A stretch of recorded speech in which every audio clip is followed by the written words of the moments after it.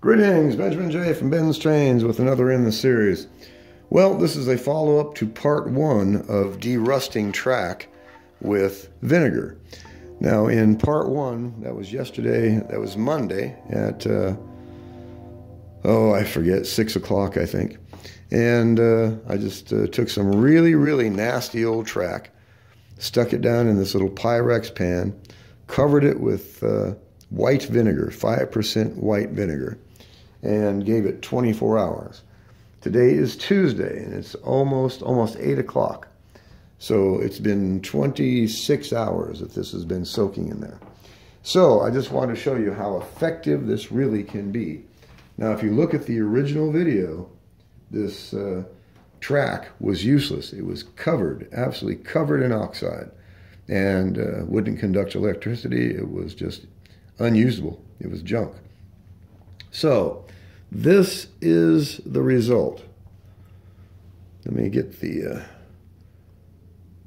vinegar off this and put it over here on a towel. Move the camera. All right, so 24 hours in vinegar, and this is the result. So you can see 99% of that rust is gone. And these rails are smooth as glass. Let me wipe this off a bit so it's not dripping the stuff all over the place.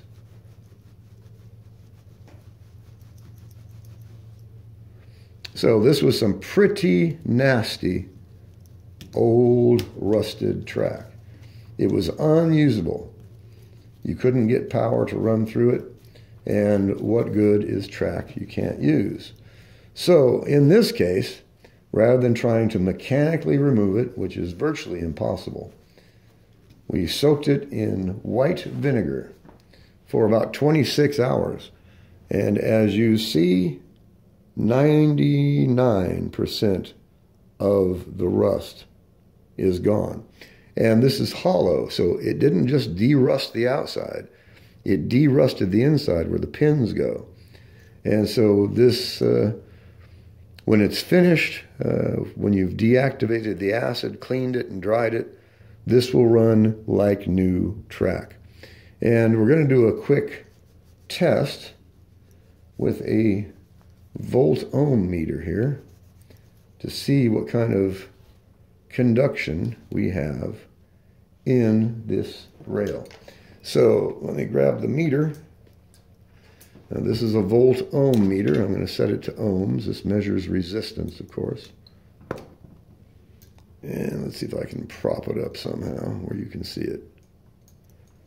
Hold on. Now you can see that, I guess. All right, now, if I touch these together,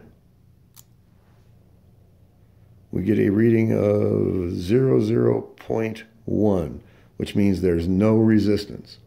So let's see what happens. We'll attach this to the center rail there and the center rail there. And we have zero resistance in this rail, which means we can plug this in right now and this piece of track will run.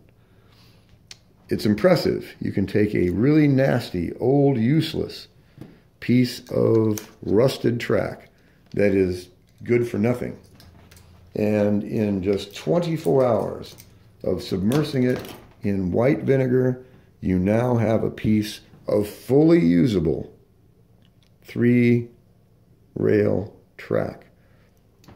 Now you notice all of the paint is gone off the ties, but it does not affect the insulator on the third rail. So now all we do is uh, deactivate the acid, uh, plunk this down in water with uh, baking soda dissolved in it. That will instant, instantly neutralize the acid. Uh, you clean it up if you want to with soap and water and a scrub brush. And uh, rinse it well in good, clean water. You can do this all in the sink. And uh, put it on a cookie sheet in a 200 degree oven for an hour to completely dry it. And uh, the rust is gone, and the rust is not only gone on the outside, it's also derusted the inside where the pins plug in. And so once you have this track derusted, it'll run almost like new track. It uh, not pretty, but uh, most of this stuff, if you go down to a hobby shop, they probably have boxes of this that they'll give to you.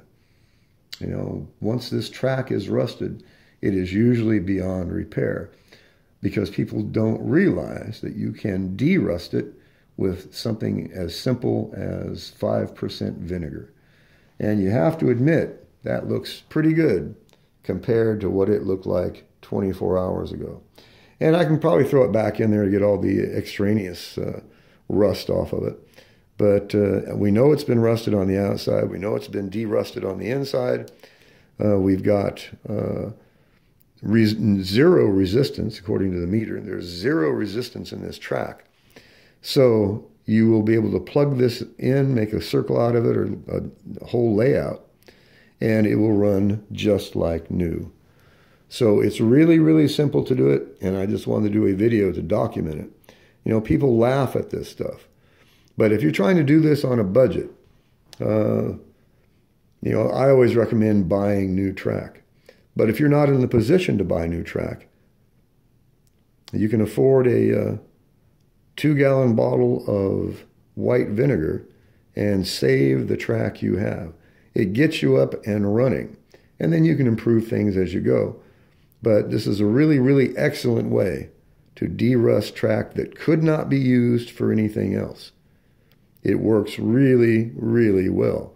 And I've done nothing to it except pull it out and look at it. Uh, the acid did all the work. That white vinegar works well. Uh, it doesn't smell that bad. It's completely non-toxic.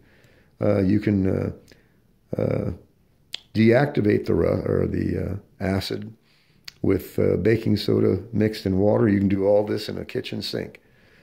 And once you've deactivated or neutralized the acid, take it out, rinse it really well, uh, scrub it with a brush and some soap and water if you want to. Cleanser works really well. And uh, rinse it with good clean water, stack it on a cookie sheet, throw it in the oven at uh, 200 degrees for an hour to completely dry it, and you will have track that will run almost like new.